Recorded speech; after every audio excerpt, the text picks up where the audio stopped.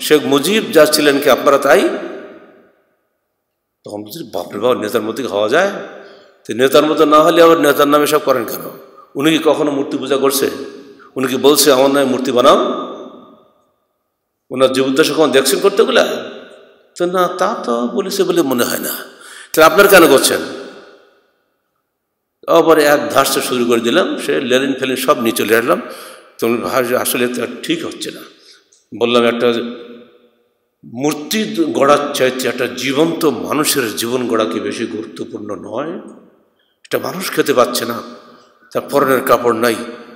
তার অসুখের চিকিৎসার খরচ নাই। সেখানে আপনি পাঁচ টাকা দেন না। ভাই, মাফ করো দু টাকা দিয়ে। অথচ একটা মূর্তি যখন কাজে লাগে না, সে শুনতেও পারে না, বলতেও পারে না, বুঝতেও পারে না, অনুভবও করে না। আপনি তার পেছনে কেন পয়সা ব্যয় করছেন? বাংলার মানুষের এই ট্যাক্সের পয়সা আপনাকে এই কাজ করার জন্য কি নেতা বানানো হয়েছে? আমরা মৌলবীরা করছি কি? আমরা যারা দিনের খাদেম বলি, দিনের প্রহারা, পাহারাদার বলি, আমাদের উপায়টা কি? বাংলাদেশের কর্নারে কর্নারে রাস্তা ঘাটে মূর্তি শুরু হয়ে গেল। বিরুদ্ধে কোনো মৌলবীদের কথা আছে? কি নাম দিয়েছে মুরাল?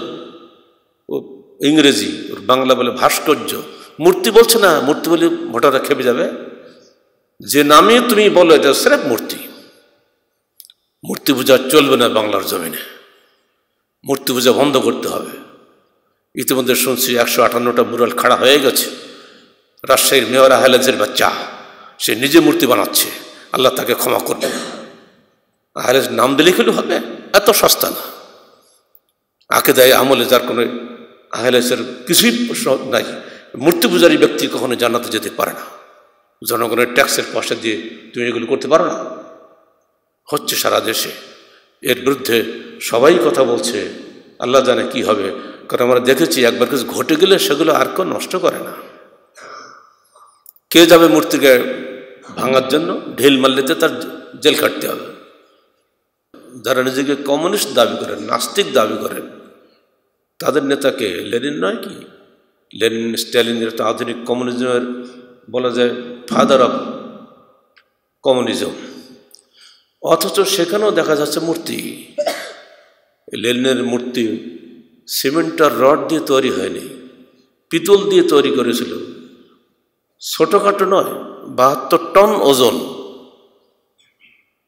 কত উঁচু চিন্তা করেন। কেউ কেউ বলেন তিপ্পান্ন মিটার উঁচু, কেউ বলেন তিপ্পান্ন ফুট উঁচু, কোনটা ঠিক আল্লাহ ভালো জানেন মাপেকে। এই বাহাত্তর টন ওজনের একটা পিতলের মূর্তি যারা বানায়, তারা বলছে, আমরা নাস্তিক, আমরা কোনো ধর্মে বিশ্বাস করি না, আল্লাহ তো প্রশ্নই ওঠে না। ওটা কেন বানাচ্ছ? ধর্মীয় সম্প্রদায়ের লোকেরাই তো এগুলো করে, তোমরা কেন করো? শুধু তাই না রাশিয়া থেকে সীমানা পেরিয়ে ইউক্রেনে, শুধু ইউক্রেনেই তেরোশো চল্লিশটা মূর্তি হয়েছে লেলিনের পরবর্তীতে রাজনৈতিক হিংসার ফলে উনিশশো বিরানব্বই সালে যখন সোভিয়েত রাশিয়া ধ্বংস হয়ে গেল, মূর্তি ভাঙা শুরু হয়ে গেল। লেলিনের মূর্তি তার ভক্তরে ভেঙে দিল। আর ইউক্রেনে ভাঙতে ভাঙতে তেরোশো চল্লিশটা একটাও রাখবে, সব গুঁড়ো করে দিতেছে তারা মনে করে, এই মূর্তি রেখে দিলে তিনি চিরস্থায়ী হয়ে গেলেন। তার কোনো মৃত্যু নাই। সে হারিয়ে যাবে না। সেটা পাগলের প্রলাপ। স্মৃতি থাকে হৃদয়ে, স্মৃতি মূর্তিতে থাকে না। ছাত্র জীবনে ছিয়াত্তর সালে যখন আমরা ঢাকা ইউনিভার্সিটির ছাত্র মুক্তিযোদ্ধাদের পক্ষ থেকে দাবি হলো ঢাকার মোড়ে মোড়ে বড় বড় নাম করা মুক্তিযোদ্ধাদের মূর্তি বানাতে হবে। পত্রিকায় পড়লাম, বিরুদ্ধে বিবৃতি দিলাম কড়াভাবে। ফলাফল হলো এই, একদিন পরে আমার রুম ভাঙচুর। ভাগ্যক্রমে বেঁচে গেলাম। আমার রুমমেটকে সেদিন মেরে পিটিয়ে আলকাদরা মাখিয়ে মাথা নেড়া করে সামনে টিন ঝুলিয়ে সমস্ত ঢাকা ইউনিভার্সিটি ক্যাম্পাস ঘোরানো হয়েছে। ও বেচারা একেবারে নির্দোষ কিছুই জানে না, বাড়ি বরিশাল। আমি ওর রুমমেট, এটি হলো ওর অপরাধ। ভাগ্যক্রমে আমি ওই সময় ছিলাম যাত্রাবাড়িতে। ফিরে এসে দেখি হল ভাঙচুর, গ্লাস আর নেই বললেও চলে। জানলা, দরজা ভেঙে শেষ করে দিয়েছে। গার্ড বলছে, স্যার, আপনি ভাই, আপনি উপরে উঠেন না। আপনাকে না পেয়ে তোরা এগুলি করেছে। তুই খালি বলো ওদের নেতারা কোন রুমে থাকে। বলে দিল, সোজা রুমে ঢুকে পড়লাম, সালাম দিয়ে। ওরা হতভম্ব হয়ে গেছে। যাকে খুঁজছি সে হাজির? কি ব্যাপার ভাই, আপনারা আমার রুম মেটকে পিটাইছেন? আসেন, আমি মজুদ। কি অপরাধ আমার বিরুদ্ধে বলেন? ওদের নেতাটা একটু ভদ্র ছিল। ও কারাচ ইউনিভার্সিটির মাস্টার্স। পরে ঢাকা ইউনিভার্সিটি ঢুকেছে, নেতা হওয়ার জন্য খালি। শেষে বলছি, ভাই, আপনি এটা বিবৃতি কেন দিলেন? মুক্তিযোদ্ধাদের দেশের শ্রেষ্ঠ সন্তান, তাদেরকে আমরা স্মরণ করব মূর্তির মাধ্যমে। এটাতে আপনার আপত্তি কেন? বললাম, ভাই, স্মরণ করবেন বছরে একদিন বা দুদিন। সারা বছর মাথায় কাকে আর শকুনি পেশাব করে পায়খানা করবে? আর গোড়ায় কুত্তায় পেখান পেশাব করবে?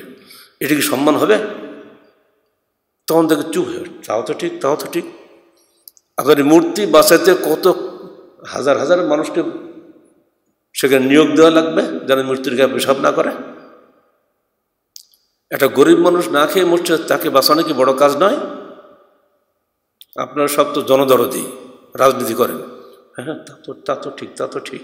আস্তে আস্তে বলছে, জোরে জোরে না। আপনারা রবীন্দ্রনাথ ঠাকুরকে চেনেন না? হ্যাঁ চেন মধ্যে জাতীয় কবি, মেলা গল্প। তার সাকার নিরাকার কবিতা পড়েন নেই? পড়েননি তিনি কি বলেছেন? দেখতে গিয়েছি পর্বতমালা দেখেছে গিয়াছে সিন্ধু, দেখি নাই কবু দু চোখ মলিয়ার কি? একটি ধারে, একটি শিশির বিন্দু, কেন এগুলো দেখতে পারেন আপনারা? পর্বতমালা দেখে বেড়াচ্ছেন সিন্ধু ঘুরে বেড়াচ্ছেন কেন নিজের বাড়ির সামনে বাড়ে ধানের শীষের মাথা যে একটা বিন্দু উনি দেখেছেন, সেটা দেখবেন না? কোরআন হাদিস নয়। রবীন্দ্রনাথের কবিতা বলার পরে বেচারা সে মাথার চুপ করল। একটু পরে যে সুন্দর কথাটা বলল, আপনাদের শিক্ষণের জন্য বলছি আচ্ছা ভাই, এই যে পীর সাহেবরা কবর পূজা করে, ওরস করে, এগুলোর বিরুদ্ধে তো আপনারা কিছু বলেন না? ওখানে কি পীর বসে আছে, জীবন্ত তো মরা, তার কোনো ক্ষমতা নেই। ওখানে লোক, লাখ লাখ মানুষ যাচ্ছে ধর্মের নামে, এটা কি ঠিক হচ্ছে? এটা কি অধর্ম নয়? শুধু তাই ওই উপলক্ষে হাজার হাজার গরু, খাসি জবে করে খেয়ে সাবার করে দিচ্ছে। কী জন্য করে এগুলা? তাহলে হ্যাঁ ধন্যবাদ আপনাকে, আপনি এই প্রসঙ্গ তুলেছেন। আপনি, আপনার সালাদ নেই, সিয়াম নেই একটা বলতে হিসাব মতো কমিউনিস্ট লোক আপনি। আপনি যে এটা ধরেছেন, অসংখ্য ধন্যবাদ আপনাকে। তো মনে রাখবেন, ওটা ইসলাম নয়। তো সবগুলো একসঙ্গে কী বলছেন ইসলাম নয়? ওটাই তো আসলে ইসলাম বাংলাদেশে। তো ইসলামের নামে ধোকাবাজি। আল্লাহ বাক আমাদের সবাইকে শিরক বিদাত থেকে বেঁচে থাকার তৌফিক দান করুন। আকুল কৌলি হাজ আস্তাকুল আলী আলকুল সাহেব মুসলিমিন।